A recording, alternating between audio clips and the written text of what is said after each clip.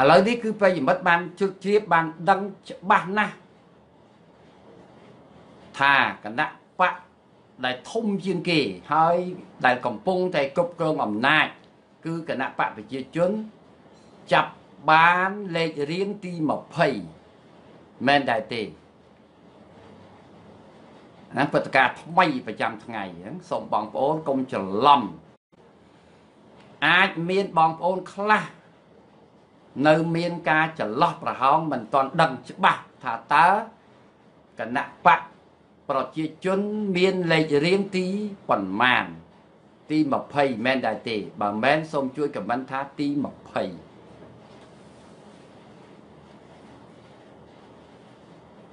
នៅមានទៀតនៅក្នុងចំណោមគណៈបកទាំង20នេះ យើងបែរជាឃើញគណៈបករបស់លោកយ៉ុងសង្គមាដែលជាគណៈបកមានស្ថាបនិកគឺលោកកែមលីណាណាក៏ដឹងមែនដែរទេគណៈបកយ៉ុងសង្គមាគឺជាគណៈបកដែលកើតឡើងដោយស្នាដៃរបស់លោកកែមលីមែនដែរទេ ហើយពេលនេះគណៈបកនេះហាក់ដូចជាមានមុខមានមាត់លេចធ្លោខ្លាំងទាំងនៅក្នុងចំណោមមហាជន ប្រជាពលរដ្ឋក៏ដូចជាលើឆាកអន្តរជាតិបណ្ដាស្ថានទូតជាច្រើន បានខំប្រឹងព្យាយាមទៅជួបជាមួយនឹងគណៈបក ប្រជាធិបតេយ្យមូលដ្ឋាននោះឥឡូវនេះមិនដឹងជាចៃដន្យអីស្រាប់តែគណៈបកប្រជាធិបតេយ្យមូលដ្ឋានបានចាប់ចំលេខ7ណែរឿងដែលយើងធ្វើឲ្យយើងមានការធ្វើឲ្យយើងមានការភ្ញាក់ផ្អើលលេខដល់ទៅ20 20ខ្ទង់ណានេះសត្វតែគណៈបកនឹងមកចាប់ជប់ចំលេខ7ណាអារីឯនេះអាយ៉ាអាយ៉ាអីមិនចេះមិនចេះមិនចេះមិនចេះនេះអូខេ រីឯគណៈបកប្រជាជនហ៎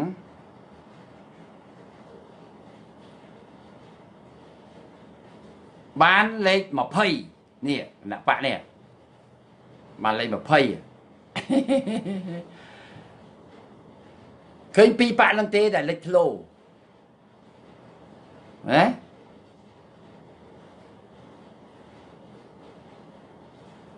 ឥឡូវ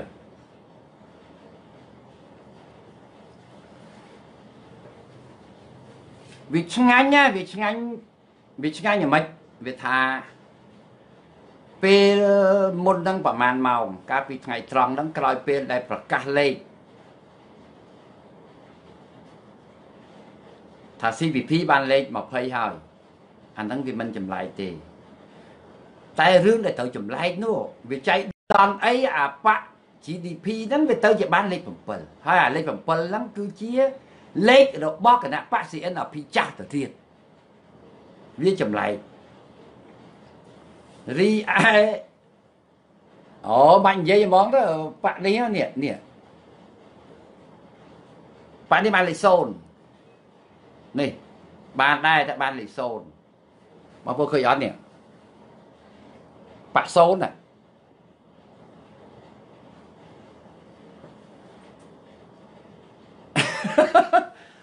នេះហើយគឺជាបាក់ដេកផ្ទះឈ្នះឯង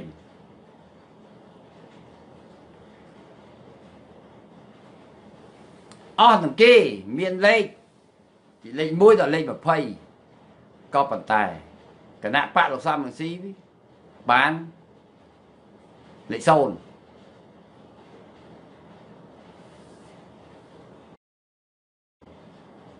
អូខេហ្នឹងហើយ ហើយបងប្អូននឹងចាប់ផ្ដើមមានអ្នកអូគេហៅថាអ្នកវិភាគផ្នែកលេខអ្នកវិភាគផ្នែកលេខថាអាយ៉ាអាម៉េចបានជា CPP ទៅចាប់ចំលេខ20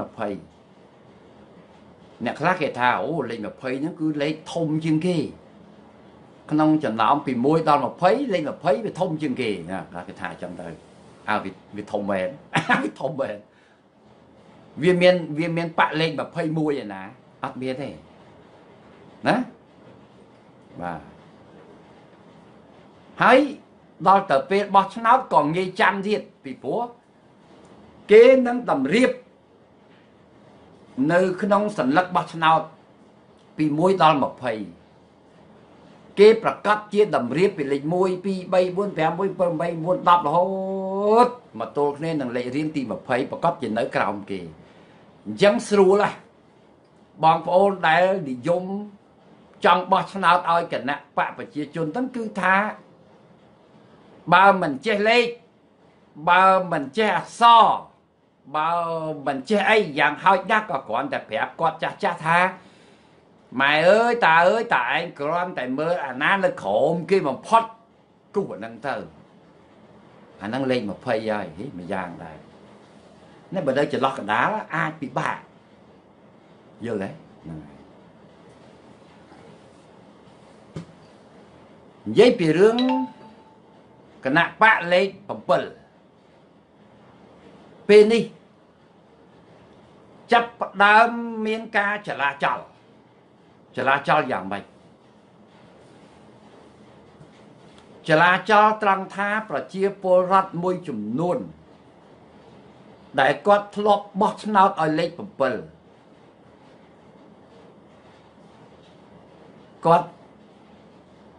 បើសិនជាមិនប្រាប់គាត់ឲ្យច្បាស់ទេគាត់នឹងទៅបោះឆ្នោតគូអលេខ7នឹងទៀតនេះរឿងវានៅកន្លែងនេះ ពួកឥឡូវនៅក្នុងក្បាលរបស់ពួកគាត់ម្នាក់ម្នាក់ហ្នឹងគឺថាសូម្បីតែថ្ងៃមិញក៏នៅមានអ្នកខមមិនលេខ7ទៀត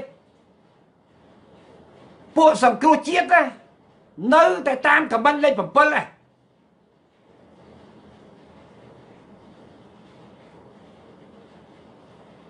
អញ្ចឹង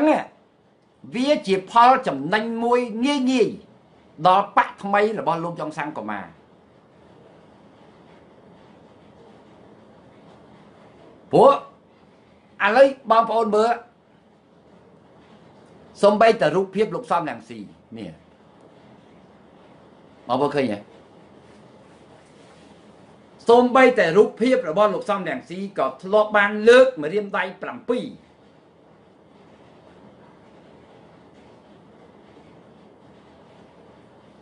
ទៅកន្លែងណាពេលណាក៏ដោយអានេះគាត់ទៅលើកថ្មីថ្មីហ្នឹងលេខ7ហ្នឹង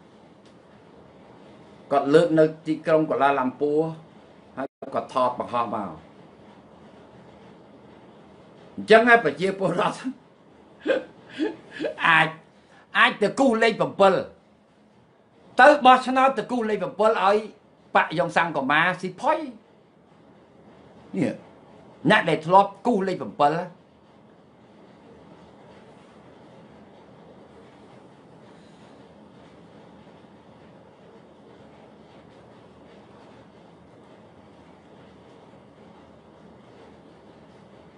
និយាយអំពីរឿងបញ្ហាខ្ញុំចាប់អារម្មណ៍ចេះរឿងគោលនយោបាយរបស់គណៈបកប្រជាជនយើងមិនបាច់លើកឡើងមកទេពីព្រោះថាគណៈបកនឹងមិនសូវជាចេះសន្យាអីគេផង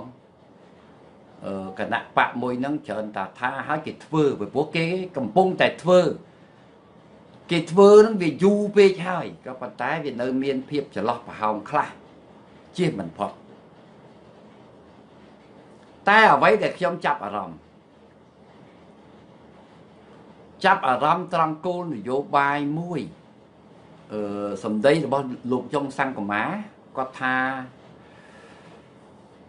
បើសិនជាគាត់មានវាសនាអាណត្តិណាអញ្ចឹងទៅ4 10 20ឆ្នាំទៅក្រោយទៀតក៏ថាបាន4 10ឆ្នាំទៅមុខទៀតក៏ថាបានគាត់អាចដឹកនាំប្រទេស គាត់មានគោលនយោបាយពិសេសមួយគឺអ្វីគឺប្លែកពីគណៈបកដតីទាំងអស់យើងមិនមែននិយាយនេះដើម្បីឃោសនាឲ្យគណៈបកយ៉ងសង្កមាទេក៏ប៉ុន្តែយើងចង់យកមកឆ្លងយោបល់អង្គគ្រប់ប្រាជ្ញតើការគិតការបដិញ្ញាចិត្តរបស់យ៉ងសង្កមា អាចយកជាការបានទេ អាចយកមកគិតដែលអត់គាត់ថាអញ្ចេះបើសិនជាគាត់ដឹកដឹកនាំរដ្ឋាភិបាលគាត់មិនរើសអើងគណៈបកនយោបាយទេមន្ត្រី នៅក្នុងគណៈបក CPP ក៏ដោយមន្ត្រីនៅក្នុងគណៈបកណាក៏ដោយឲ្យតែមានស្នាដៃល្អ គាត់យកមកប្រើទាំងអស់ក្នុងនោះគាត់បានលើកឈ្មោះរដ្ឋមន្ត្រីចំចំមួយចំនួន ដូចជាគាត់លើកអឺរដ្ឋមន្ត្រីជាសភារាគាត់លើកឈ្មោះរដ្ឋមន្ត្រីអឺអប់រំហ៎គាត់លើកចឹង គាត់លើកជាឧទាហរណ៍គាត់ថាបើសិនជាគាត់ជាប់បុគ្គលដែលមានស្នាដៃបុគ្គលដែលចេះធ្វើការងារធ្វើឲ្យមហាជនធ្វើឲ្យប្រទេសជាតិអាចដោះស្រាយបញ្ហាបានរលូនអញ្ចឹងល្អអញ្ចឹងគាត់ថាគាត់នឹងឲ្យមន្ត្រីគណៈបកផ្សេងមកធ្វើការក្នុងរដ្ឋាភិបាលរបស់គាត់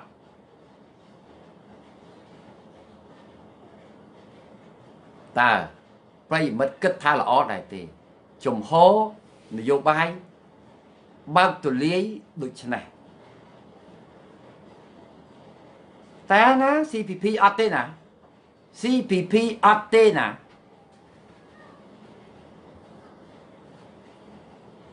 មន្ត្រីថ្នាក់នយោបាយមន្ត្រីវាមានថ្នាក់ មុខងារសាធារណៈមួយចំនួនវាមិនស្ថិតនៅក្នុងឋានៈជាមន្ត្រីអ្នកនយោបាយទេមន្ត្រីអ្នកនយោបាយដូចជាចាប់គិតតាំងពីត្រឹមណាទៅពីរដ្ឋលេខាធិការទៅឬមួយក៏ពីរដ្ឋមន្ត្រីអានឹងគេហៅថាមន្ត្រីថ្នាក់នយោបាយគេខាង CPP គាត់ប្រកាន់គាត់ថាអត់ទេតតែបកគាត់ តតែមន្ត្រីដែលមានជីវភាពនយោបាយក្នុងបកគាត់ទើបគាត់យកមកប្រើយល់ដែរអត់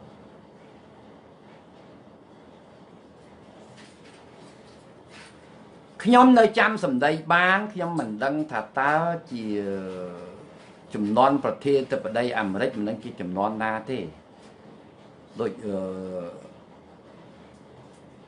Reagan មិនដឹងអីមិនដឹងកាលនោះដូចជាធ្លាប់មានយកយករដ្ឋមន្ត្រីការបរទេសដែលជាគណៈបកផ្សេងឧទាហរណ៍ថាគណៈបកប្រជាធិបតេយ្យគេគ្រប់គ្រងនៅអាមេរិកតែបែរជាយកមន្ត្រីរបស់គណៈបកសាធារណរដ្ឋរបស់គ្រប់គ្រងវិញគេធ្លាប់ធ្វើនៅអាមេរិកគេធ្វើអញ្ចឹងតែពេលនោះខ្ញុំឮលោកយុរដ្ឋមន្ត្រីថាអូអត់ទេគាត់គឺអត់បាន ក្រៅពីមន្ត្រីរបស់គាត់គាត់អត់ប្រើទេអាហ្នឹងលោកលើកអញ្ចឹងក៏ប៉ុន្តែខ្ញុំសំកមាលើកនេះតើប្រិយមិត្តគិតថាល្អដែរអត់គាត់ថាគាត់ប្រើទោះជាមន្ត្រីហ្នឹងមិនមែនជាក្នុងបកគាត់ក៏ដោយខ្ញុំថាយោបល់នេះបើសិនជាគណៈបក CPP សម្ដេចលោកជាប្រមុខជាអ្នកដឹកនាំគណៈបកបើសិនជាយកយោបល់នេះយកទៅគិតហើយធ្វើការកែតម្រង់ខ្លះនៅក្នុងការដឹកនាំប្រទេសជាតិរបស់លោកឧទាហរណ៍ខ្ញុំឧទាហរណ៍មិនឧទាហរណ៍វាត្រូវតែអញ្ចឹងហ្មងពីព្រោះថាគណៈបកប្រជាជនដាច់ខាត100%វាត្រូវតែឈ្នះហើយណាបងប្អូនណាវាឈ្នះហើយគ្រាន់ថាមិនដឹងបានប្រមាណក៏អីត្រឹមឈ្នះទៅគឺឈ្នះហើយឆ្នាំ2018នេះរហូតដល់ឆ្នាំ2023ទៀតក៏នៅតែឈ្នះដែរណាអ្នកណាក៏គេទាយថាអញ្ចឹងដែរមិនបាច់អង្គពុកប្រាច់យើងនិយាយទេកូនក្មេងមិនចេះដឹងក្តីអីក៏អាចនិយាយបានដែរក៏អាចថាត្រូវដែរតែបើសិនជាលោកនាយករដ្ឋមន្ត្រីឧទាហរណ៍ទេណាថាបើសិនជាក្រោយរដ្ឋាភិបាលថ្មីនេះ លោកអាចសម្លឹងមើលឃើញ នៅ ក្នុងគណៈបកដតីហើយមានធនធានមនុស្សខ្មែរដែលល្អដែលល្អ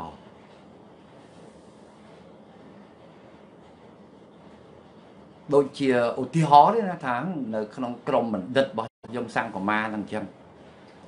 ឧទាហរណ៍ថាអាចឲ្យយមសង្កមាហ្នឹង ឡើងមកធ្វើជារដ្ឋមន្ត្រីក្រសួងកសិកម្មសាក់លបងលើមើលមើលមកអាណត្តិលើមើលប្រហែលឆ្នាំលើមើលមើលឧទាហរណ៍ពីមុខគាត់ជំនាញកសិកម្មតើវាមានការប្រែប្រួលដែរអត់ពីព្រោះយើងសង្ឃឹមថា នៅក្នុងសភាហ្នឹងអាណត្តិក្រោយហ្នឹងសម្លេងរបស់គណៈបកយងសង្កមាហ្នឹងដាច់ខាតទៅតែមានអសនៈខ្លះនៅក្នុងសភាហើយគ្រាន់ថាមិនដឹងប្រមាណមែនដែរទេ បងប្អូនជឿជាក់ចឹងអត់បកលោកខឹមវាសនាក៏អាចមានសម្លេងខ្លះដែរខ្ញុំសម្លឹងមើលឃើញ3បកហ្នឹងអាចមានសម្លេងនៅក្នុងសភា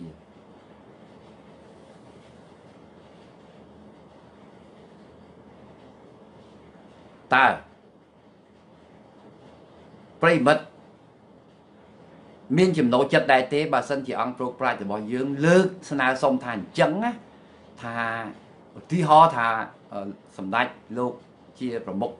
រាជរដ្ឋាភិបាលហើយហើយឲ្យលោកបើកចិត្តអាគោលនយោបាយទៅនឹងមួយខ្ញុំថាវាយើងកុំគិតរឿងបាក់ពេកយើងគិតពីរឿងជាតិឧទាហរណ៍ថាលោកយងសង្កមាអញ្ចឹងគាត់ជំនាញខាងកសិកម្មប្រជាពលរដ្ឋ25ខេត្តក្រុងអ្នកណាក៏ស្គាល់យងសង្កមាដែរគាត់ដើរធ្វើការងារកសិកម្មជាមួយនឹងប្រជាពលរដ្ឋ ច្រើនពេកហើយគាត់មិនមែនជាមន្ត្រីដែលអង្គុយក្នុងម៉ាស៊ីនត្រជាក់ទេយងសង្កមានេះគឺជាមន្ត្រីជើង2ដើរពីពេញស្រែចំការអញ្ចឹងតើអាចសាក់លបងឲ្យគាត់ធ្វើជារដ្ឋមន្ត្រីក្រសួងកសិកម្មសាក់លោមើពិតមែនតែគាត់ពុំមែនជាសមាជិកក្នុងបករបស់ CPP តើ បងប្អូនយល់ដូចមិនដែរសុំស្ទង់បតិបន្តិចណាប្រិមិត្តណាជួយបន្តិចមកណាអូខេសុំស្ទង់បតិបន្តិចមកបានអត់ចំណុចចំណុចហ្នឹងណ៎មាននៅមានប្រិយមិត្តគាត់ខមមិនលេខ7ទៀតអឺបងប្អូនដែលគាត់វិវុជាមួយនឹងគណៈបកសង្គ្រោះជាតិឥឡូវនេះ ឃើញគាត់ខមមិនលេខ7អត់ដឹងខ្យល់អីមែនប៉ុណ្ណឹងបានយើងដឹងថាមនុស្សខ្មែរប្រឆាំងមនុស្សដែលដើរតាមលោកសំយ៉ាងស៊ីភ្លើអត់ដឹងខ្យល់អីសោះអត់ដឹងថាថ្ងៃហ្នឹងគេវិវត្តយ៉ាងម៉េចអត់ដឹងអីឲ្យលីងវាទៅខមមិនលេខ7ទៀតល្ងងរត់សាក់នេះបើវងកញ្ចក់តិចអូខេអាយ៉ាមានប្រិមិត្តទទួលស្គាល់ច្រើនណាណា ទទួលស្គាល់ថាបើសិនជាយើងបើកចិត្តឲ្យតលាយអញ្ចឹងណាហើយយើងក៏មិនដឹងថាលោកយុរដ្ឋមន្ត្រីលោកគិតមិនទេណាតែបើបានអញ្ចឹងបងប្អូនគិតថាល្អដែរអញ្ចឹងហ៎សាក់ត្រឹមមួយឆ្នាំពីរឆ្នាំដូចបងយាយថាសាក់ពីរឆ្នាំឯលោកមើលមើលកើនកើតហើយបើមិនកើតដកចេញវិញទៅអារឿងដកអារឿងដាក់នៅលើទឹកបិចរបស់លោកនាយករដ្ឋមន្ត្រីតាមិនថាអញ្ចឹង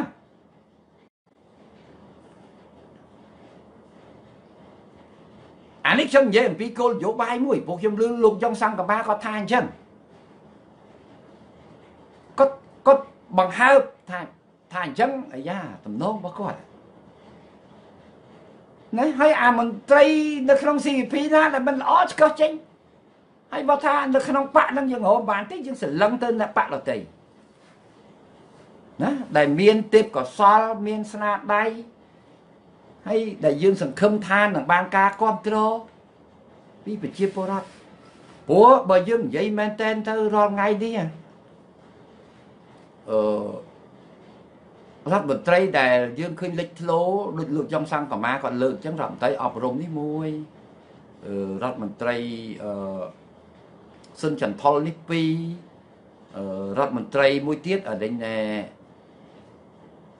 ជាសភារានេះ3 គឺប្រជាពលរដ្ឋគាត់គាត់កក់ក្ដៅគាត់កក់ក្ដៅហក់ទៅរកគាត់គឺថាមានកែអីគាត់ដោះពុបពុបពុបពុបពុបពុបវាមានប្រសិទ្ធភាពអូខេណាអញ្ចឹងឯកភាពដែរហ៎ឬក៏មានអ្នកជំទាស់ថាហេមិនកើតទេកើតពីបៈយើងមិនកើតអូខេនៅមានទៀត ពីរឿងបញ្ហាជជែកគ្នាពីថ្ងៃមិញហ្នឹងគឺពីព្រឹកមិញហ្នឹងគឺមានជជែកគ្នាពីរឿងបញ្ហាបៈហើយនឹងមន្ត្រីសាធារណៈបញ្ហានេះអង្គប្រប្រាជ្ញរបស់យើងធ្លាប់លើកហើយ ជាធម្មតាការចាត់តាំងមន្ត្រីសាធារណៈការជ្រើសរើសមន្ត្រីសាធារណៈ ឲ្យចូលមកធ្វើការងារបម្រើប្រទេសជាតិខ្ញុំនិយាយពីរឿងថ្នាក់មិនមែនអ្នកនយោបាយគឺគេជ្រើសរើសដោយសេរីមិនប្រកាន់គណៈបកនយោបាយណាទេអានឹងគឺវាមានយូរមកហើយមិនបាច់យើងរៀបរាប់ឧទាហរណ៍ថារើសទាហានរើសប៉ូលីសរើសកយរើសកិញស្អីណាអញ្ចឹង គេមិនដែលសួរសរសេរក្នុងវត្តរូបថាអ្នកឯងគណៈបកណាណាអត់ទេមិនអញ្ចឹងអញ្ចឹងទៅប្រឡងហ្នឹងគឺថាគេអត់មានបានគេអត់មានលក្ខខណ្ឌមួយថាអេតលតែគណៈបក CPP ទើបអ្នកឯងអាចដាក់តំងបានអត់មានទេយើងត្រូវទទួលស្គាល់បញ្ហាហ្នឹងគឺជាការពិតមែនទេអត់ក៏ប៉ុន្តែដល់ទៅពេល ចូលទៅធ្វើការងារនៅក្នុងក្របខ័ណ្ឌរដ្ឋហើយពេលនោះទើបវាមានការចងក្រងជាក្រុមគណៈបកនៅក្នុងអង្គភាពនោះអានឹងវាជារឿងក្រៅប្រធានអង្គភាពនោះ គេជ្រើសរើសសកម្មជនរបស់គេ នៅ ក្នុងអង្គភាពរបស់គេ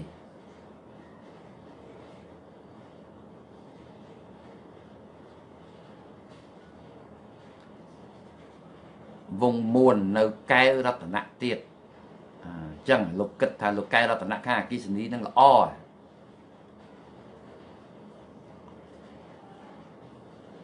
អឺមានលោកម្នាក់គាត់ខមមិនថា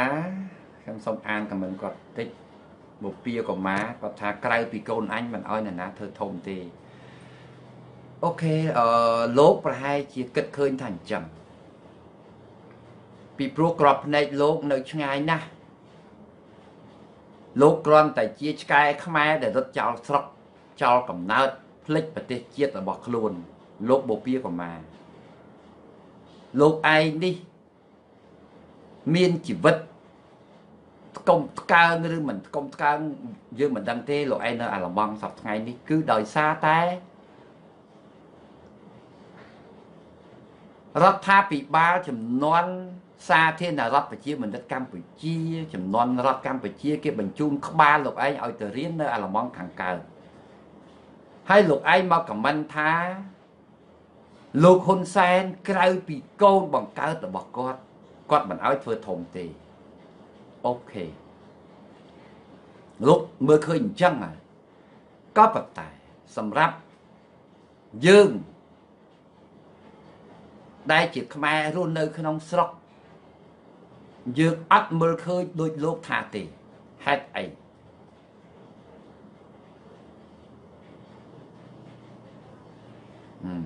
ឯងសោចត្រូវហើយសោចហើយផងហូរទឹកភ្នែកមកណាបុពាកុមារហេតុអីបានជាយើងមើលឃើញអញ្ចឹងឯងមើលបងប្អូនបង្កើត របស់លោកនាយករដ្ឋមន្ត្រី មានប្រមាណអ្នកមាន6អ្នកប្រុស3ស្រី3សួរថាក្នុង6អ្នកហ្នឹងតើមានប្រមាណអ្នកដែលលោកនាយករដ្ឋមន្ត្រីហ៊ុនសែនលើកដំកើងឲ្យធ្វើធំណាឃើញមានតែបងប្រុសទី2របស់គាត់លោកហ៊ុនណេងមួយឯងបានធ្វើចង្វាយខេតកំពង់ចាម ហើយបងធំគាត់ហ៊ុនសាននោះក៏មិនមានអ្វីមុខទួលនីតិអ្វីជាដុំកពួនដែរអងាកមកប្អូនស្រីស្រីរបស់គាត់ឯងមើលចុះនេះខ្ញុំនិយាយពីរឿងប្អូនបកើតអត់មានទេ មានតែបងស្រីហ៊ុនស៊ីណាតមួយនឹងឃើញរៀងគ្រាន់បើបន្តិចក៏ប៉ុន្តែมันមានទួនាទីអ្វីជាដុំកពួនក្នុងជួររដ្ឋាភិបាលទេអានេះនិយាយពីរឿងប្អូនបកើតបងបង្កើត ណែលោកនាយករដ្ឋមន្ត្រីហ៊ុនសែនណាខ្ញុំមើលឃើញគាត់ណាគាត់ជាមនុស្សមិនមែនគ្រួសារនិយមហ៊ាននិយាយអញ្ចឹងមើលមើលមានបងប្អូនណាទទួលស្គាល់ដោយការរៀបរាប់របស់យើងអត់អានេះឆ្លើយតបជាមួយនឹងបទខមមិនរបស់ម្ចាស់ account បូព៌ាកូម៉ាដែលជាខ្មែររត់ចោលស្រុកនៅអាល្លឺម៉ង់ទទួលស្គាល់ឃើញតែអញ្ចឹងឯងវាគួរតែ មិនខ្វល់ថាបងប្អូននឹងចេះចេះអញដឹងឯដាក់ឲ្យធ្វើរដ្ឋមន្ត្រីទាំងអស់គាត់ជានាយករដ្ឋមន្ត្រីរឿងអីឲ្យហ៊ុនសានអហ៊ុនណេងធ្វើរដ្ឋមន្ត្រីបានមិនទៅឲ្យសាច់ដតីមកធ្វើវិញអប្អូនស្រីគាត់3នាក់ឲ្យធ្វើទៅធ្វើរដ្ឋមន្ត្រីមិនក៏មិនឲ្យ ហើយបើគាត់ឲ្យអាណាធ្វើក្រោយគាត់ឯងគិតមើលមិនក៏ឯងចេះតែមើលឃើញខ្មៅមួយងឹតអញ្ចឹងនេះទំនងជាខ្ញុំប្រើពាក្យអីណាទំនងជាលោកនាយករដ្ឋមន្ត្រីគាត់មើលឃើញសមត្ថភាពបងប្អូនរបស់គាត់ទៅវាមិនរួចវាមានស្ទើរវាមានចន្លោះវាមានប្រហោងចំណុចអីមួយទើបលោកអត់ឲ្យធ្វើបើនិយាយអំពីអំណាច អំណាចនៅក្នុងដៃរបស់នាយករដ្ឋមន្ត្រីគឺមានតាចង់ឲ្យអាណាធ្វើអីក៏បានដែរមិនថាអញ្ចឹងអាហ្នឹងនិយាយអំពីតំណែងនិងអំណាចឯងកុំចេះតែកុំចេះតែខមមិនហើយខ្ញុំបាននិយាយទេអាកូនកូនវាទៅធំខ្ញុំនិយាយពីពីចំនួននៅកុំនេះទៀតអំណាចនៅក្នុងដៃហ៊ុនសែនតាមានអាណាទៅទឹកក្រោយគាត់មិនចឹង អាមិនក៏ចាំបាច់អូសអាមនុស្សខ្លះអត់ដែរស្គាល់គ្នាមកតាំងពីស្រុកប្រាំងមកតាំងពីអាមេរិកយកមកធ្វើជារដ្ឋមន្ត្រីធ្វើជាស្អីស្អីក៏គោកក្តីអាបងប្អូនគាត់បង្កើតបង្កើតទុកឲ្យដើរតាត់កំប៉ុងពេញស្រុកខ្មែរហើយមិនចោះហើយអញ្ចឹងអញ្ចឹងឯងមើលអត់ឃើញទេហ៎អាហើយឥឡូវដល់កូនឥឡូវបងប្អូនមើលកូនកូនគាត់ប៉ុន្មានអ្នក មានតែកូនប្រុស3ហ្នឹងហើយកូនប្រុស3ហ្នឹងសមត្ថភាពគេគឺសំស្របនឹងគេផ្ដល់ទូនាទីឲ្យតំពាំងស្នងអាស័យឲ្យអូនវាត្រូវតែអញ្ចឹងវាមិនមែនពូជដូចកូនលោកសំរងស៊ីរហូតតែកូនក្អាត់មួយមកមកមកមកមកចំនួនសំរងស៊ីអត់បានទេសំរងស៊ីអាយុច្រើនជាងលោកនាយករដ្ឋមន្ត្រីបងណា 2ឆ្នាំមិនដឹងទេប្រហែលសំរងស៊ីហើយកូនគាត់ក៏មានដែរកូនសំរងស៊ីក៏មានដែរក៏ប៉ុន្តែសួរមើលមើលតែពូជពូជសំរងស៊ីហ្នឹងដែលកើតចេញពីអាចក្រសំរងស៊ីហ្នឹងមានអាមួយណាមានមួយណាអាចអាចហក់ឡើងមកចំនួនឪវាបានអត់អញបិចក៏មិនចេះនិយាយអាចចំណុចហ្នឹងអានឹងនិយាយអំពីពូជឥឡូវឯងមើលបាច់មើលអីច្រើនទេ គណៈបកសង្គ្រោះជាតិរលាយក្រោមដៃរបស់សំរងស៊ីទៅហើយបើសិនជាសំរងស៊ីគាត់មានធនធានមនុស្សល្អគាត់ចេះបង្ហាត់បង្រៀនពូជគាត់ល្អម្លេះគាត់នឹងមានកូនប្រុសឬកូនស្រីដើម្បីមកស្នងគាត់ហើយរុញឯងមកដូចតាគង់គំអញ្ចឹងមកស្នងបង្កើតជាគណៈបកមួយដើម្បីស្នងតកូលគាត់បាត់ហើយតែវាអត់មានអែអែអានេះខ្ញុំនិយាយពីរឿងអំបោឈាមពូជ ឥឡូវឯងខ្ញុំខ្ញុំរៀបរាប់អញ្ចឹងឯងយល់នៅណាកូនស្រីកូនស្រីរបស់លោកនាយករដ្ឋមន្ត្រីអត់មានអ្នកណាមួយមានតម្លៃក្នុងជួររដ្ឋាភិបាលទេប្រាប់ឲ្យច្បាស់កូនហ៊ុនម៉ាណាហ៊ុនម៉ាណាំងអីហ្នឹងហ្នឹងក្មួយស្រីផ្សេងផ្សេងទៀតហ្នឹងអត់ទេណាប្រជាជនសាមញ្ញទេណារងថ្ងៃហ្នឹងណា ហើយសួរថាខ្វះណាតំណែងចវាយខេត្តតំណែងរដ្ឋមន្ត្រីឲ្យកូនគាត់កូនស្រីគាត់ធ្វើមិនបានរដ្ឋមន្ត្រីក្រសួងកិច្ចការនារីរដ្ឋមន្ត្រីក្រសួងនេះនោះអីបានរឿងអីគាត់មិនសញ្ញេឲ្យធ្វើទៅ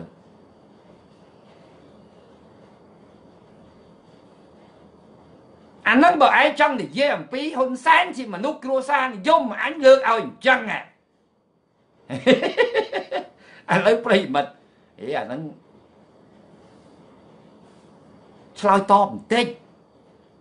ហើយថ្ងៃក្រោយសរសេរខមមិនណាសូមសូមសូមកុំសរសេរតាមអារម្មណ៍របស់ខ្លួនណាត្រូវសរសេរអ្វីដែលចេញពីការពិតត្រូវសរសេរអ្វីដែលផុសចេញអំពីជាក់ស្ដែងនៃសង្គមយើងឥឡូវខ្ញុំលើកអញ្ចឹងទាំងបងប្អូនបង្កើតខ្ញុំយើងសាច់បង្កើត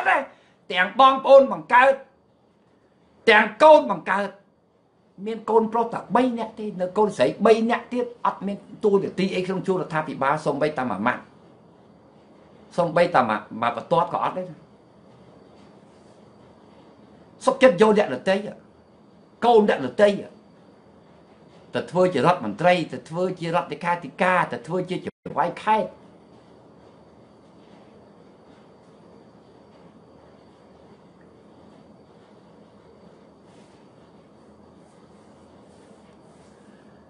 អូខេឥឡូវខ្ញុំឆ្លើយប៉ុណ្ណឹងឆ្លើយតបជាមួយនឹងនឹងលោកបូព៌ាកូម៉ាមិនដែរណាឃើញដាក់រូបមកមានបេះដូងមកផងឯកភាពដល់អត់មើលបូព៌ាកូម៉ាឆ្លើយបន្តិចមកណាឯងទទួលស្គាល់ថាការខមមិនរបស់ឯងនេះវាហួសហេតុខុសពីការពិតដែរទេ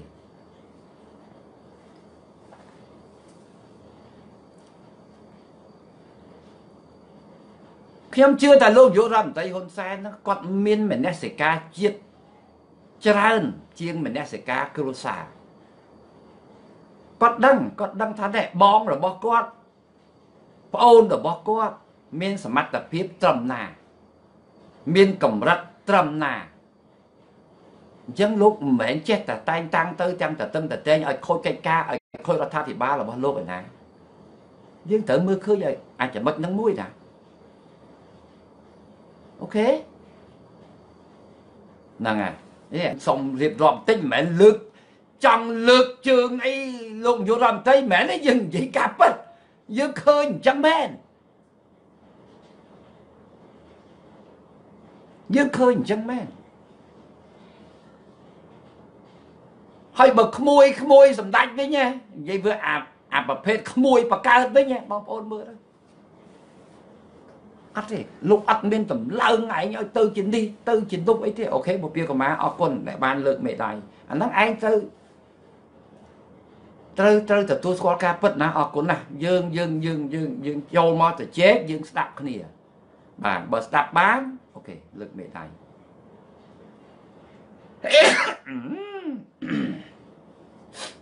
ចង់ដាសាយអូខេ ឥឡូវនេះ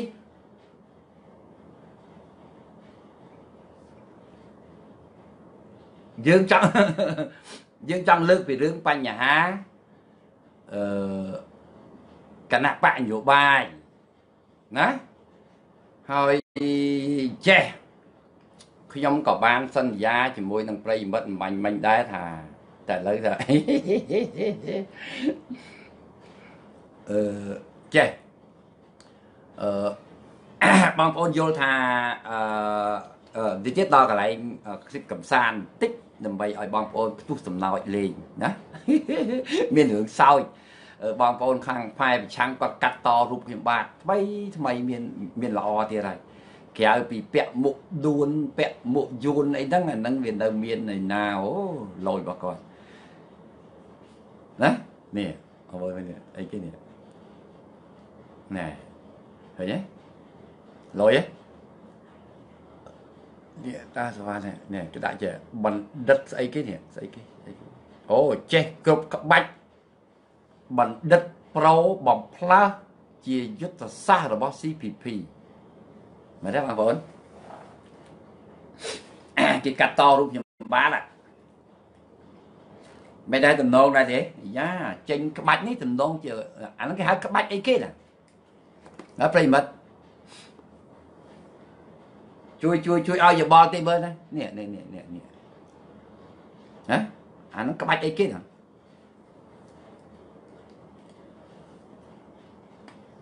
និយាយធ្វើមុខមាត់ប្រមិចក្រមើមដូចស្វានេះអាចុះបើមនុស្សវា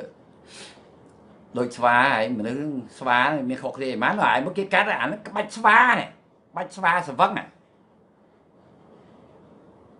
មិនដែរបងប្អូនអាហ្នឹងក្បាច់អីគេហ្នឹងមើលមើលមើលមើលជួយជួយជួយឲ្យអើច្បាច់គូខុងអូដល់តែក្បាច់ពោះយ៉ាបាទពោះពសបតក់ណាប្រិមិត្តហឹមណែរូបខ្ញុំបាទចឹងអាក្បាច់ស្វាក្បាច់ស្វាប្រហា CNRP នេះនៅមានមួយទៀតនេះបៃបិទនេះគេកាត់ឲ្យខ្ញុំទៅចេះបានណាមែនទេ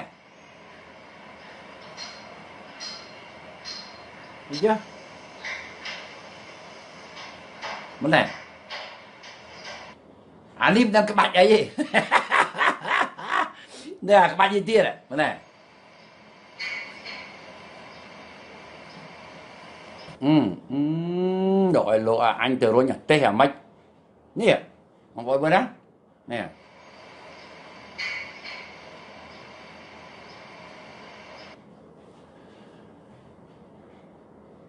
អឺងានេះណែ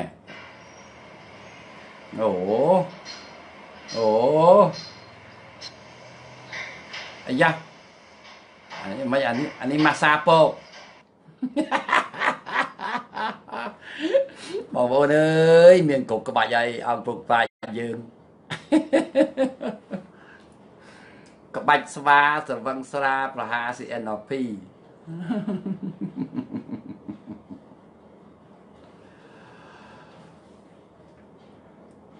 គេខឹងចំបាតពេកបាទខឹងដែរមួយថ្ងៃមួយថ្ងៃខឹងខឹងវាអាចជេរតាមអឺទូរស័ព្ទនោះក៏ប្រយ៉ាបពៀក៏មកតែក្បាច់ត្រពង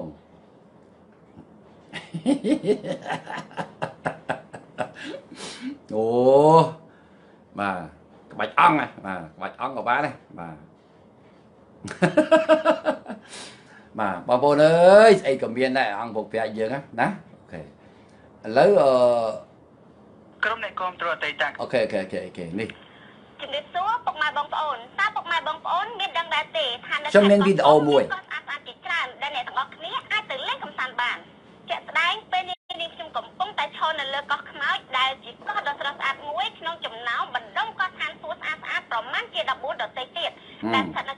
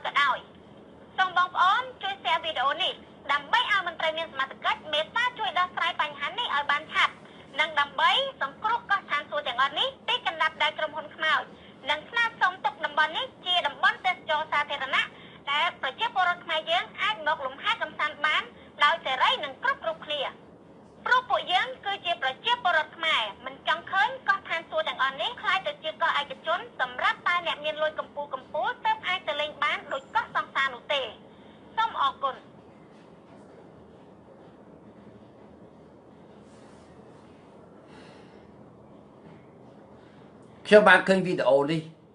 នៅក្នុងเพจផ្លូវការរបស់លោកសំរាំងស៊ីគាត់បង្ហោះចេញកាលពីម្សិលមួយថ្ងៃតែเพจនេះ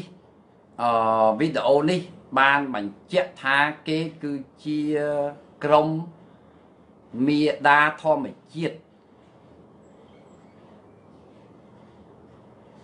របស់អារិចលោកអាលិច អារិចអាលិចអាលិចអាលិចអាលិចលោកអាលិចបាទតកតងទៅនឹងបញ្ហាកោះជាច្រើន ដែលក្មេងស្រីម្នាក់អំបញ្ញមិញនេះបានប្រកាសស្រែកថារាជរដ្ឋាភិបាលកម្ពុជា បានលួចផ្ដាល់កោះជាច្រើនរាប់សិបកោះឲ្យទៅឯកជនឲ្យទៅបរទេស ហើយនាងបានពោលថា នាងមិនចង់ឲ្យកោះទាំងអស់នោះ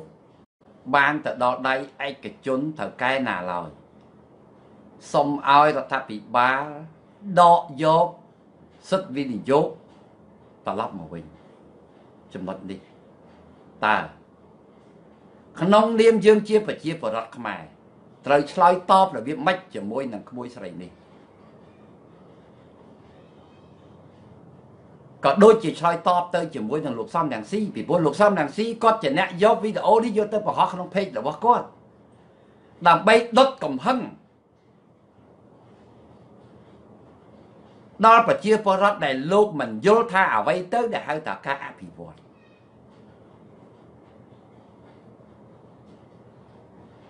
ប្រជាពលរដ្ឋខ្មែរដែលស្ដាប់សំឡេងคลิปវីដេអូអំបញ្ញមិញនេះអ្នកដែលគិតមិនបានដិតដល់ ប្រកាសជាជះកំហឹងមកលើរដ្ឋាភិបាលថាអារដ្ឋាភិបាលគំរក់លក់កោះលក់ឆ្នេរបាទអាឡិចជនជាតិអេស្ប៉ាញបាទអរគុណមហាសំណុកតើឯងចង់ទុកសួរថាយើងទាំងអស់គ្នាតើគួរទុកកោះនោះ ឲ្យនៅជាកោះកំព្រីកំព្រីដូចរាប់សិបឆ្នាំមកតទៅទៀតឬមួយក៏ត្រូវរោគអ្នកមានលុយយកមកអភិវឌ្ឍកោះនោះឆ្លើយ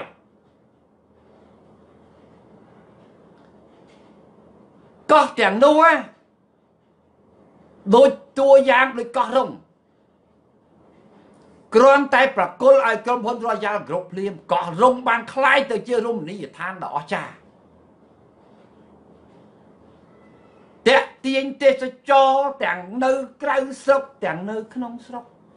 បណ្ដាកោះបងកោះប្អូនកោះរស័យដែលនៅគៀកគៀកនឹងសំបីតែកោះពោះ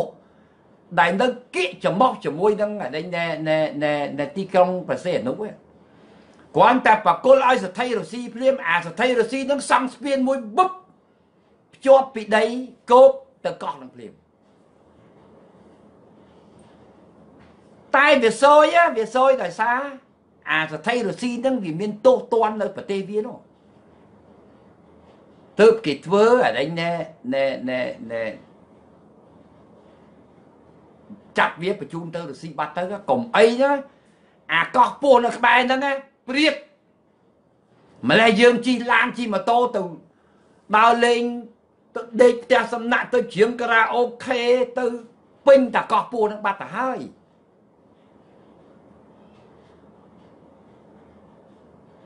ឬមួយក៏ចង់ទុកកោះនោះឲ្យពោះពោះព្រៃវានៅពេញនោះឲ្យស្វានៅមើលលោកអាលិច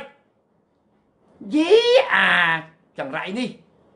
អាលិចហ្នឹងណាគឺជាជនបរទេសជនជាតិអេស្ប៉ាញអានេះគឺជាចារកម្មរបស់ពួកលោកអង់គ្លេស គេបញ្ជូនវាឲ្យមនុស្សស្រុកខ្មែរ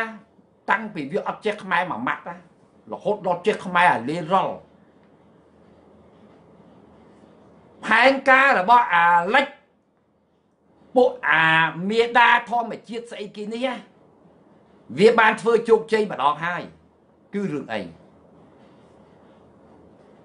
រឿងវារីអកិសនីអរែងប្រិមិត្តដោយសារតែស្នាដៃរបស់អាលិចហ្នឹង បានចាប់បង្ខំឲ្យរដ្ឋាភិបាលផ្អាកការធ្វើវិរិយអគិសនីអរ៉ែងខ្ញុំហ្នឹងខ្ញុំប្រាប់កាលនោះខ្ញុំអត់ទាន់ចេះលេង Facebook វាអត់ទាន់ចេះចេញ live show អញ្ចឹងយើងគ្រាន់តែថាយើងបង្ហោះជាអសរជាអីខ្ញុំខ្ញុំតូចចិត្តនឹងលោកនាយករដ្ឋមន្ត្រីហ៊ុនសែនដែលចោះចាញ់អាលិចខ្ញុំប្រើពាក្យអញ្ចឹងហ្មងអត់ត្រូវចោះចាញ់ទេរឿង រឿងអភិវឌ្ឍត្រូវតែធ្វើប្រទេសយើងរងគ្រោះដោយសារសង្គ្រាមយូរពេកហើយយើងត្រូវការអភិវឌ្ឍយើងអត់ត្រូវការនៅដុតចន្លោះអត់ទេជាធម្មតា ការអភិវឌ្ឍរមែងមានផលប៉ះពាល់ជាអត់ផុតបងប្អូនឈឺក្បាលបងប្អូនលេបអាស្ពីរីន លេបគីណាល់បំបត្តិការឈឺក្បាលអូខេវាបាត់ឈឺក្បាលក៏ប៉ុន្តែវាទៅរមូលកាពះវាទៅប៉ះពាល់កាពះអាហ្នឹងវាចូលទៅតែមុខពីរអញ្ចឹងយ៉ាងណាមិញរាល់ការអភិវឌ្ឍបងប្អូនសូមសូមបើកចិត្តឲ្យទលាយកុំជឿតាមការញុះញង់របស់ពួកបរទេសអសោះវាអត់ចង់ឲ្យយើងនឹងបានការរីកចម្រើនទេរឿងពិតវានៅកន្លែងនេះមែនដែរទេកោះ ទាំងអស់នោះវាមាននៅក្នុងផែនទីខ្មែរវាជាកម្មសិទ្ធិរបស់យើងវារាប់ពាន់ឆ្នាំមកហើយវានៅតែកោះនៅតែកោះអញ្ចឹងនៅតែព្រៃលហោឋានអញ្ចឹងមានផេះស្អីក៏ប៉ុន្តែ នៅពេលដែលយើងប្រគល់ទៅឲ្យបរទេសគេបោះលុយរាប់រយរាប់ពាន់លានដុល្លារទៅកសាងកន្លែងនោះសួរថាវាទើបែងក្បាលវាខ្លាំងណាស់ ហ៎ឥឡូវបងប្អូនពិចារណា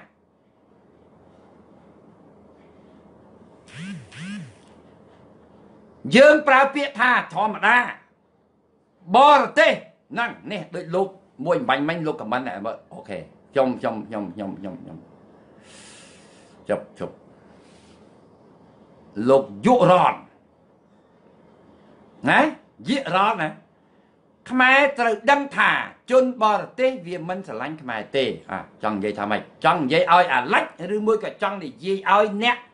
ដែលមកវិនិយោគព្រោះពិសេសបរទេសដូចគ្នាមួយអាលិចវាអត់ចង់ឲ្យបរទេសណាមកវិនិយោគលើដែនកោះរបស់យើងទេវាឲ្យក្មេងស្រីម្នាក់បង្ហោះចេញនេះបងប្អូនមើលនេះជំរាបសួរពុកម៉ែបងប្អូនមើលម្ដងទៀត ដឹងដែរទេថានៅខេត្តកោះកុងមានកោះស្អាតស្អាតជាច្រើនដែលអ្នកទាំងអស់គ្នាអាចទៅលេងកម្សាន្តបានជាក់ស្ដែងពេលនេះនេះខ្ញុំកំពុងតែឈរនៅលើកោះខ្មោចដែលជាកោះដ៏ស្រស់ស្អាតមួយក្នុងចំណោមបណ្ដុំកោះឋានសួគ៌ស្អាតស្អាតប្រមាណជា14ដទៃទៀតដែលស្ថិតនៅក្នុងស្រុកគិរីសាគរខេត្តកោះកុងទស្សនភាពនៅក្នុងតំបន់នេះមានលក្ខណៈប្លែកអស្ចារ្យខុសពីតំបន់ដទៃហើយយើងអាចមើលឃើញផ្កាថ្មតូចធំបានយ៉ាងងាយស្រួលមានជីវៈចម្រុះមានត្រីជាច្រើនប្រភេទជាពិសេសមានដើមឈើធំធំជាច្រើននិងមានឆ្នេរខ្សាច់ស្រស់ស្អាតជាងកន្លែងដទៃទៀតផងប្រជាពលរដ្ឋខ្មែរជាច្រើនលើសពី90%មិនដែលបានមកស្គាល់តំបន់នេះទេ ហើយក្រសួងទេសចរក៏មិនបានផ្សព្វផ្សាយឲ្យមហាជនបានស្គាល់តំបន់នេះជាទូទៅដែរដោយហេតុថាក្នុងកំឡុងឆ្នាំ2008រហូតដល់ឆ្នាំ2012រដ្ឋាភិបាលបានផ្ដល់សម្បទានយ៉ាងអាត់កំបាំងឲ្យទៅក្រុមហ៊ុនឯកជនសិតតែអាកំបាំងទាំងអស់ទៅហើយហើយមកទល់នឹងពេលនេះយើងក៏មិនឃើញមានការអភិវឌ្ឍអ្វីតតែសោះនៅលើកោះទាំងអស់នេះ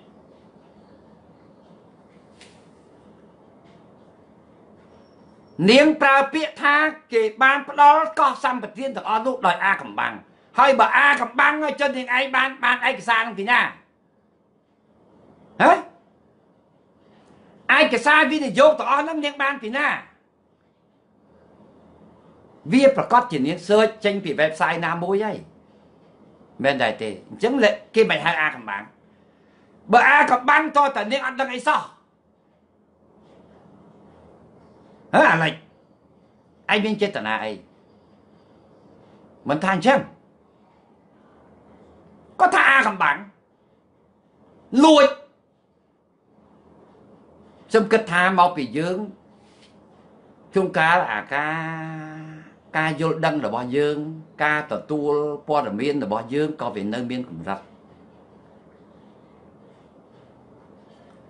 ឥឡូវសំបីតែអាមេរិកក៏កំពុងតែបើក បើកច្រកចង់ឲ្យចិនចង់ឲ្យប្រទេសជប៉ុនចង់អីទៅវិនិយោគនៅអាមេរិកឲ្យសម្បើមឡើងណាគ្រប់គ្នាទាំងអស់គេកំពុងតែទៀមទីអញ្ចឹងហើយចម្លែកអីតែអ្នកប្រឆាំងស្រុកខ្មែរវាប្រវាវាមិនត្រឹមតែទៅហាមឃាត់គេមិនឲ្យមកវិនិយោគទេអាគេមកវិនិយោគហើយវាទៅតាមឆាឆៅគេទៀតតួយ៉ាងដូចវារីអគិសនីនៅ នៅអរ៉ែង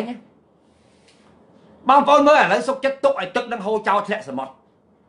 តែអត់បានយើងជាម្ចាស់ប្រទេសនេះអត់បានទទួលផលអីមកសោះបើសិនជាបើកឲ្យអរ៉ែងនឹងធ្វើមកទល់ថ្ងៃនេះមកទល់នឹងឆ្នាំនេះអរ៉ែងនឹងចេញតែគិសនីបាត់ទៅហើយអរ៉ែងនឹងធ្វើមុនអាសេសាន2ទៀតកម្រងការទៅសិក្សាអត់បាន ចូលទៅវិឆាឆៅចូលទៅវារិះគន់ចូលទៅវាធ្វើបាតកម្មវាដុតកម្ដៅប្រជាពលរដ្ឋនៅម្ដុំហ្នឹងមិនឲ្យសហការជាមួយ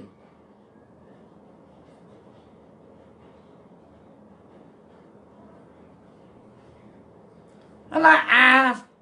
អាស្អី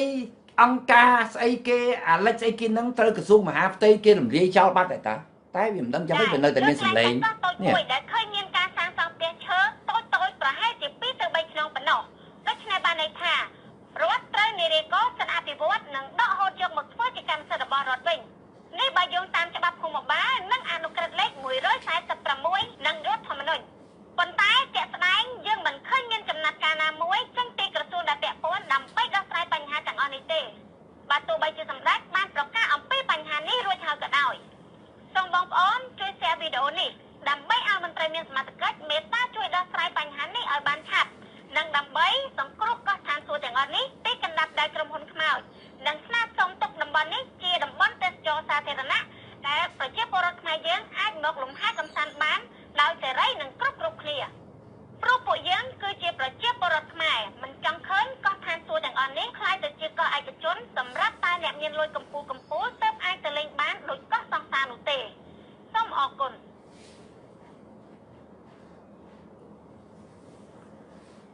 ហើយយើងសួរថាតើមានមានក្រុមហ៊ុនវិនិយោគនៅលើកោះណា ក្រុមហ៊ុនវិនិយោគទៅលើរមណីយដ្ឋានណាដែលគេដាក់ផ្លាកហាមមិនឲ្យអ្នកក្រចូលអត់មេនាងមេនាងឯងឆ្លើយបន្តិចមើលនាងឯងស្រែកអំបញ្ញមិញថា ក្នុងនាមនាងឯងជាប្រជាពលរដ្ឋខ្មែរ មិនចង់ឃើញហ៎មិនចង់ឃើញកោះទាំងនោះធ្លាក់ទៅដល់ដៃរបស់បរទេសឬក៏អ្នកវិនិយោគទុនដែលដែលពលរដ្ឋខ្មែរក្រីក្រទៅលេងបាន អាណាខាត់យើងមិនឲ្យទៅហ៎ឥឡូវសុំសួរប្រិយមិត្តតិចតើកោះរុំក្តីកោះណាក្តីរមណីយដ្ឋានណាផ្សេងផ្សេងក្តី ពិតដែរទេ ដែលម្ចាស់កោះនោះម្ចាស់រមណីយដ្ឋាននោះ គេបានហាមមិនអោយខ្មែរអ្នកក្រទៅអញដូចជាមិនជឿហើយវាអត់ដែលណាឲ្យតែយើងមានលទ្ធភាពទៅ គេគេស្វាគមន៍ទាំងអស់ទោះជាឯងទៅទៅផឹកកាហ្វេតាមមួយកែវហើយឡប់មកវិញក៏ ក៏គេដកអត់មានដេញថាហាមថាអេហាមអ្នកក្រអ្នកឯងត្រូវតែមានកាតអ្នកមានបានញ៉ោយចូលអញដូចជាវាហួសហេតុពេកអាការលៀបពណ៌នេះហ៎បងប្អូនជួយជួយជួយពិចារណាបន្តិចមើលក្មួយស្រីយ៉ាអត់ចាំបាច់រដ្ឋមន្ត្រីណាឆ្លោយទេឃ្លីបរបស់ក្មួយនេះសុំឆ្លោយត្រឹមអង្គពុកប្រាក់យើងបានហើយ អត់បាច់នាំខ្វល់ដល់រដ្ឋាភិបាលទេខ្ញុំបានលឺនឹងសម្លេងអត់នឹងតែជាយើងច្បាស់ថាសម្លេងលោកនាយករដ្ឋមន្ត្រីការពីលោកទៅកោះរំលោកបានស្រែកហើយណា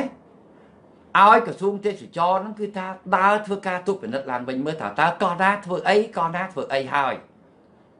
ព្រោះវាជាជារឿងធម្មតាការទទួលបានដីសម្បត្តិពពពពពមកវាធម្មតាវាអាចមានអាក្រុមហ៊ុនខ្លះវាគុកជេ វាទាញដីបានសម្បទានទាញកោះបានមួយហើយ តែខ្លួនវាវាបានមានលុយត្រឹមតែ បានសិទ្ធទេតែដល់អាលុយអភិវឌ្ឍវាអត់មានអញ្ចឹងវាទៅរត់ទៅរកដៃគូឬមួយក៏វាទៅទៅលក់លីសង់ហ្នឹងបន្តឲ្យគេមកតង់ទៀតអញ្ចឹងវាទៀមទាពេលវេលា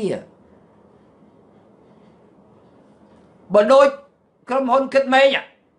ឃើញទេគ្រាន់តែគេទទួលសិទ្ធិពឹប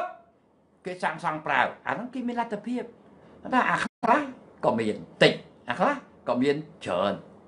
វាជាអត់ផុតទេតែបើសិនជាស្ថិតនៅក្នុងរយៈពេលណាមួយដែលវាហួសការកំណត់នៃកិច្ចសន្យាវិនិយោគនោះឯងអត់ធ្វើអីសោះអាហ្នឹងក៏សំល្មមដកមកវិញស៊ីទឹកតែឯងដាច់អាបត្តិហ្មងទៅអាហ្នឹងខ្ញុំឯកភាពខ្ញុំឯកភាព ណាក៏ប៉ុន្តែអាត្រង់ថាឲ្យដកមកវិញដើម្បីបំរើឲ្យអ្នកក្រហីស្អីទៅហ្នឹងពួកឯងប្រុងលៀបពណ៌ខ្មែរបែងចែកខ្មែរឲ្យទៅជាក្រឲ្យទៅជាមានតើមានកោះឯណា មានរមណីយដ្ឋានឯណា ដែលហាមមិនឲ្យអ្នកក្រចូលវាអត់មាន ឥឡូវបងប្អូនសំបីតែកោះពេជ្រឥឡូវបងប្អូនទៅមានអាណាគេដាក់ផ្លាកថាហាមអ្នកក្រចូលអត់មើលនាងឯងឆ្លោយតិចមើលក្មួយស្រីនឹងឯងឈួតឬមួយក៏ជា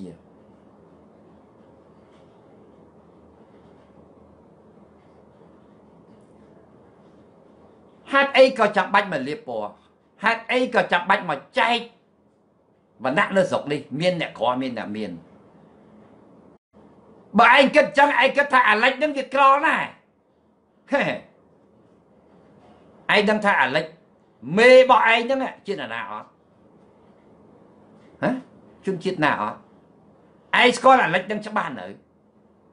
សួរថាអាលិចនឹងវាមកស្រឡាញ់ខ្មែរជាងខ្មែរស្រឡាញ់ខ្មែរអាមិនដេចក៏នាងមិនក៏មិនព្រមគិតផង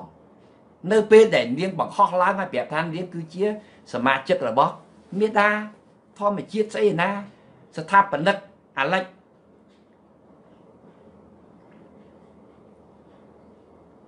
ចង់អត់លុយមករៀលជីដើរទៅលេងដើរដើរទៅចូលដើរអត់បាច់មានមានលុយមករៀលលុយខ្មែរទេសួរថាអនាគតយើងមកឲ្យចូលកោះពេជ្រអត់សួរដូចឆោត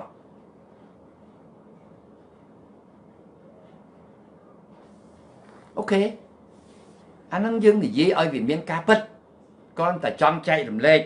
ណាអូយោយមើលមើលសិនមើលនីតិប្រហែលហើយអូអូខេ2ម៉ោងបាត់ទៅហើយបាទទេមិនជេរអីនាងទេគ្រាន់តែឲ្យ វាក្មេងណាក្មួយក្មួយណាទំពាំងស្នងសរសៃណាក្មួយណាក្មួយមុននឹងធ្វើអ្វីមួយក្មួយត្រូវគិតឲ្យបានវែងឆ្ងាយរបៀបអស់នេះមិនមែនក្មួយចេះតែធ្វើតាមខ្លួនឯងបានទេ មានការរៀបចំចាត់តាំងត្រឹមត្រូវណាស់តម្រាំនឹងចេញបានជា script បង្ហាញវីដេអូជាคลิปវីដេអូបែបនេះគឺមានមានទស្សនៈ នយោបាយត្រឹមត្រូវណាស់ទើបបានលោកសំរងស៊ីគាត់ចាប់ចាប់យកคลิปនេះយកទៅបង្ហោះក្នុង page របស់គាត់ដើម្បីបំផុសកំហឹងរបស់ប្រជាពលរដ្ឋខ្មែរខ្ញុំយល់បំណងរបស់របស់អាលិចយល់តាដឹងគ្រាន់តែខ្ញុំគ្រប់គ្រងរដ្ឋាភិបាលដែលមិនអោយអាលិចជន់ស្រុកខ្មែរមួយជីវិតឯង កុំឲ្យវាជន់ព្រោះព្រោះអានេះវាជន់វាយកមកប្រើគេហៅថាប្រើរូបភាពជា អង្គការសង្គមស៊ីវិលក៏ប៉ុន្តែមហិច្ឆតារបស់វាគឺបំផ្លាញរាល់ការអភិវឌ្ឍរបស់ប្រទេសកម្ពុជា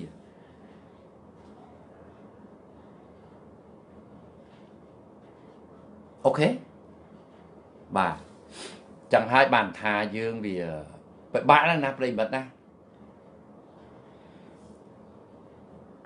ឥឡូវនេះអ អឺសោកស្ដាយការពិតយើងនៅសល់កូនប្រធានបတ်តូចតូចជាច្រើនទៀតអឺ2ម៉ោងហាក់ដូចជាដូចជាខ្លីសម្រាប់យើងមែនណាឥឡូវ2ម៉ោងបាត់ហើយបាទណាសោកស្ដាយដែលអឺมันបានអឺអានអឺខមមិនរបស់បងប្អូនហើយ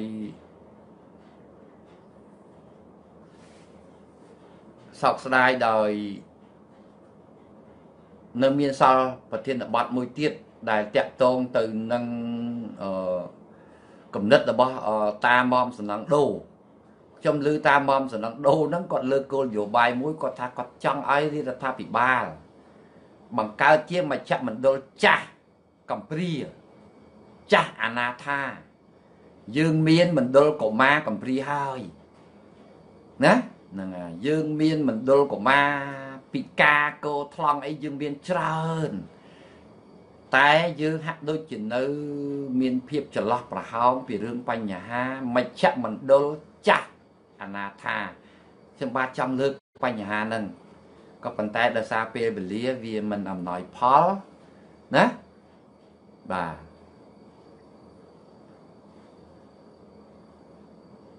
គេហាមអ្នកក្រមិនឲ្យចូលកាស៊ីណូ អូចូលកាស៊ីណូអើមិនត្រូវគេហាមមិនទេកាស៊ីណូគេអត់ហាមដែរគ្រាន់មានទេមិនដឹងទេអត់ដែរមានលុយចូលចូលទៅមានប្រហែលចូលប៉ុណ្ណឹងទៅមាន10ដុល្លារទៅលេខ10ដុល្លារអស់ដល់ចេញមកណា okay okay អឺថ្ងៃនេះយើងមានចង់ជម្រាបប្រិយមិត្តបន្តិចណា ចង់ជម្រាបប្រិយមិត្តពីរឿងបញ្ហាអាឧបករណ៍សាកអឺឧបករណ៍ស្ទង់សារជាតិគីមីក្នុងបន្លែណាដែលប្រិយមិត្តបានបោះលេខទូរស័ព្ទមកអឺកន្លងមកហ្នឹងគឺទៅវាចូលប្រហែលជា50នាក់ខ្ញុំបានកត់ត្រាទុកហើយហើយសូមអធិស្ឋានសូមទោសដោយសារតែវាមិនទាន់មកដល់ទំនងជាថ្ងៃសុកនេះមកដល់ហើយ ឥឡូវនេះយើងថ្ងៃនេះថ្ងៃអង្គារច័ន្ទអង្គារហ្នឹងគឺថាដើមសប្តាហ៍ប្រហែលជាថ្ងៃពហុថ្ងៃសុកមកដល់អញ្ចឹងក៏សូមបងប្អូនទាំងអស់គ្នាមេត្តាខន្តីអភ័យទោសដល់ថ្ងៃនោះទើបខ្ញុំរៀបចំខលទៅបងប្អូនមើលបងប្អូនណាខ្លះដែលកំពុងតែអង្គុយទេសនាណាហើយបានបោះលេខចំជាវអាឧបករណ៍វាស់ស្ទង់សារជាតិគីមីនៅក្នុងម្ហូបអាហាររបស់យើង ដូចជាបន្លែផ្លែឈើនិងត្រីសាច់អីហ្នឹងណាមានប្រមាណអ្នកគ្រាន់តែខមមិនថាខ្ញុំខ្ញុំអញ្ចឹងទៅក៏បានដែរនេះនេះប្រិមិត្តចំនួន1000អ្នកនេះតើមាននរណាដែលបានកំងរួចហើយណាអូខេបាទហើយអ្នកដែលមិនទាន់បានកំងណាក៏កំអាលកំងមក កំអាលកំងមកទៀតច្រើនណាស់ខ្ញុំខ្ញុំខ្ញុំខ្ញុំមិនហ៊ានទទួលទេកំអាលបោះលេខទូរស័ព្ទថ្មីចូលមកអឺសុំទឹកមួយកែវមកអឺឥឡូវនេះមានវាមានផលិតផលថ្មីមួយមកទៀតនេះផលិតផលថ្មីមួយមកទៀតគេក្រុមហ៊ុនគេហ្នឹងគឺគេបានយកមកផ្ញើឲ្យខ្ញុំលក់ លក់ចែកជូនបងប្អូននេះនេះអឺអានេះវាជាអាហ្នឹងគេហៅស្អីអាហ្នឹងអាហ្នឹងវាជាស្មៅអ្ហ្មិចទេខ្ញុំក៏មិនយល់ណាហើយខ្ញុំក៏អត់តន់បានសំបីតែហូបមួយម៉ាត់នៅឡើយទេណាតែគេបានណែនាំថាអញ្